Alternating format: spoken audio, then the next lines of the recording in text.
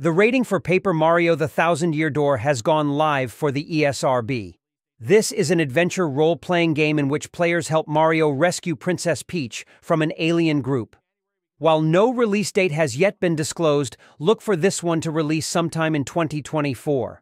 Those looking forward to Granblue Fantasy Relink will be pleased to learn that the game has finally gone gold. The game was first revealed in 2016, and it's had a rocky development, but now it seems the game is finally nearing release.